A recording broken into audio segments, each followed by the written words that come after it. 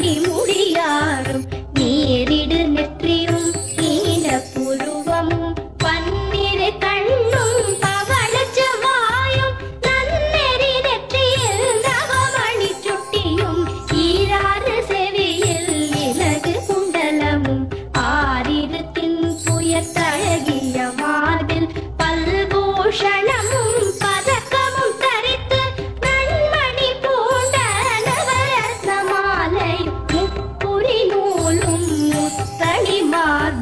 செப்பழகுடைய திருவயிருந்தியும் துவண்ட மருங்கில் சுடரொளி பட்டும் நவரத்னம் பதித்த